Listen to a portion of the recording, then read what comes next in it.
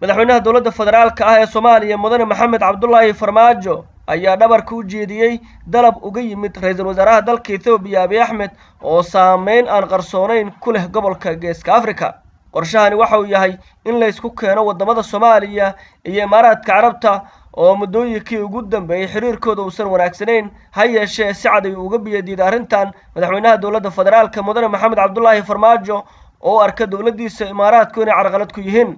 xoog ay heshay warqaad waxa ay sheegaysaa maxamed cabdulaahi farmaajo madaxweynaha dowladda federaalka ah ee soomaaliya inuu ka dhig adeegay ama uu diiday fariin uga timid ra'iisul wasaaraha ethoobiya abiy axmed oo isku dayaya inuu isku soo dhoweeyo imaaraadka carabta iyo dowladda soomaaliya. Xubno ka socda imaaraadka carabta ayaa kulamo kala duwan kula yeeshay magaalada adis ababa ee dalka ethoobiya ra'iisul wasaaraha waddankaasi iyagoo waxyaabo ay ka wada hadleen qayb ay ka haayeen in la xoojiyo xiriirka imaaraadka carabtu guud ahaan uu la leeyahay gobolka geeska africa iyadoo hadda uu xun yahay xiriirka soomaaliya iyo waddankaas carabta ku yaalla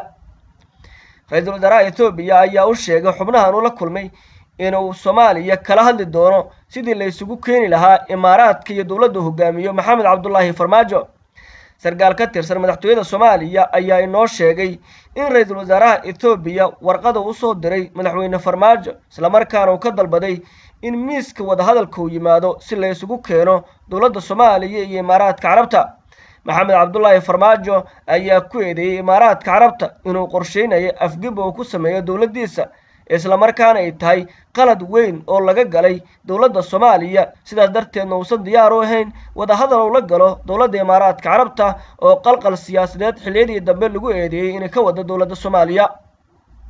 Madaxweynaha dowladda federaalka ah ayaa intaas raaciyey digniin oo u diray imaaraadka carabta taas oo ku saabsan in weli carqalad uu ka dhex wado maamul goboleedyada iyo dowladda dhexe soomaaliya. Dowladda imaaraadka carabta ayaa dhowr jeer samaysay isku dayo ay ku doonayso inay ku soo celiso xiriirkii kala dhexeeyey dowladda soomaaliya balse maxamed cabdulaahi farmaajo ayaa go'aanadaasi oo dhan ka soo horjeestay. Sheegana haddii imaaraadka uu la heshiiyo inay carqaladay karaan dowladdiisa dulduleelo kale oo siyaasadeedna ay ku furi karaan.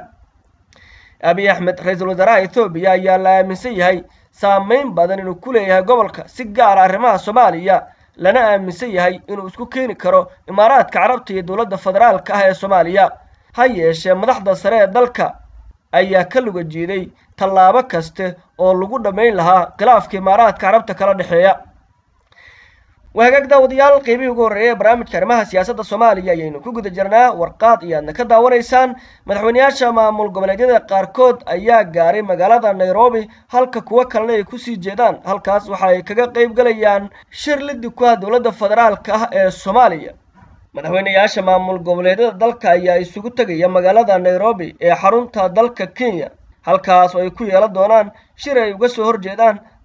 federaalka kuna taageerayaan qoraalkii dhowaan ka soo baxay golaha ammaanka ee jamciyadda qurmaha ka dhexaysa ee ku saabsanaa arrimaha soomaaliya.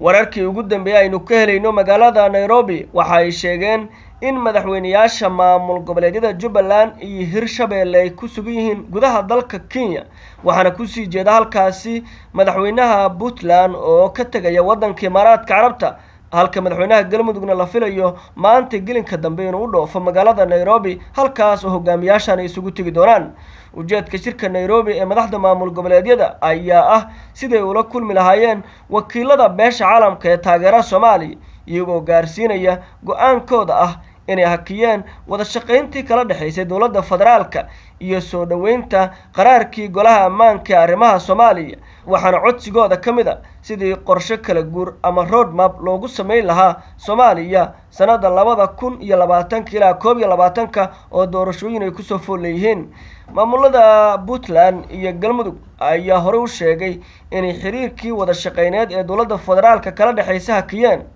waxaana shirkan ka qayb gelaynin oo keliya madaxweynaha maamulka koonfur galbeed oo xiriir wanaagsan la leh dowladda federaalka su'aalo badan ayaa ka taagan sababta maxamed cabdi waare madaxweynaha maamulka hirshabeelle uu kaga qayb gelayo shir lagu mucaaradayo dowladda federaalka ee soomaaliya iyadoo la xasuusto in xiriir wanaagsan oo labada dhinac uu ka dhexeeyey. Markii madaxweyne waare uu ka soo go'ay xubnihii dowlad goboleedyada ee golaha ay ku midaysan yihiin ku samaystay magaalada kismaayo ee gobolka jubbada hoose. Haddii ay kulan lagu mucaaradaya dowladda federaalka soomaaliya yeeshaan afartan hogaamiye goboleed waxay dhabarjab ku tahay villa soomaaliya waxaana ay guul u tahay hogaamiyaasha jubbaland iyo galmudug oo hadda khilaafkii ugu ba'naa uu kala dhexeeyo dowladda federaalka marar badanna eedeyma kala dul dhacay